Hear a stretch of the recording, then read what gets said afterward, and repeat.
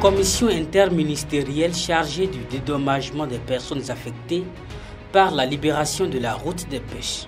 Le président de la commission interministérielle d'expropriation chargée de dédommagement des personnes affectées par les projets le long de la route des pêches communiques. Il a circulé ce week-end sur les réseaux sociaux un élément vidéo exposant un homme titulaire d'une charge publique perché sur un immeuble situé dans l'emprise de la route des pêches qui insinuait dans ses propos que l'État aurait entrepris de démolir son immeuble sans l'avoir préalablement dédommagé. Au sujet de cette dénégation, la commission interministérielle en charge du dédommagement des personnes affectées par les projets le long de la route des pêches souhaite rappeler à l'intention de l'opinion publique ce qui suit. 1.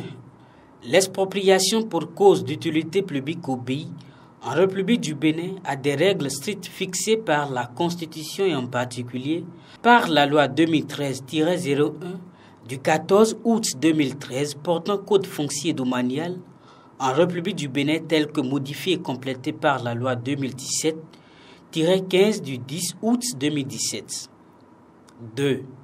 Conformément aux dispositions des articles 232 et 242 du Code foncier domanial, le montant de l'indemnisation d'une personne affectée, dès qu'il est fixé, peut être consigné par l'autorité expropriante, même en l'absence de tout contentieux.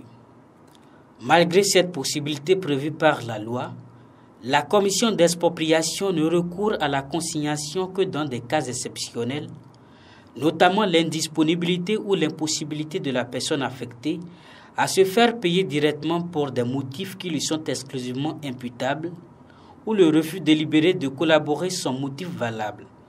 Dans ce cas dernier, il s'agit à la fois d'une opposition à la mesure d'expropriation et d'une opposition à décision de justice car la prise de possession des lieux est généralement postérieure à l'ordonnance de clôture et d'envoi à la prise de possession en l'absence de libération volontaire.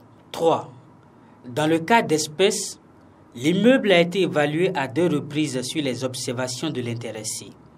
De même, la commission et les autorités concernées par le projet prévu sont restés constamment en contact avec lui pour son indemnisation intégrale, malgré les multiples relances qui lui ont été adressées afin de signer les actes nécessaires à son paiement L'intéressé s'est contenté d'exiger l'intégration de son immeuble dans le projet ou la reconstruction du dit immeuble sur une autre portion du même site en expropriation.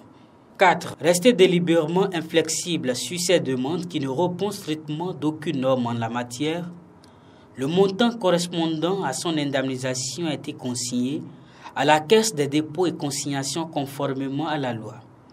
C'est après toutes ces diligences que l'autorité expropriante a engagé la phase judiciaire qui aboutit à la reddition de l'ordonnance contradictoire d'envoi à la prise de possession numéro 031 bar CSAF-SPI-SPU1 bar 2023 du 22 novembre 2023 de la Cour spéciale des affaires foncières. Malgré la décision de clôture, une dernière mise en demeure par communiqué en date du 22 janvier 2024 a été assuré par le ministre en charge du cadre de vie et des transports, chargé du développement durable. Face à toutes ces démarches de l'administration, l'intéressé est resté passif. De tout ce qui précède, il en résulte que la déclaration selon laquelle l'État aurait entrepris la démolition de son immeuble sans l'avoir préalablement dédommagé est mensongère.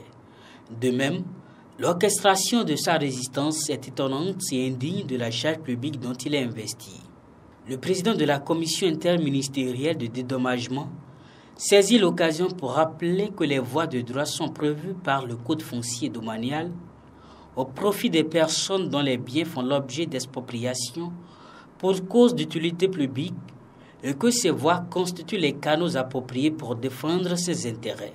Le président des commissions interministérielles de dédommagement compte sur la compréhension de chacun de tous. Faites à Cotonou, le 26 février 2024 est signé du président de la commission interministérielle.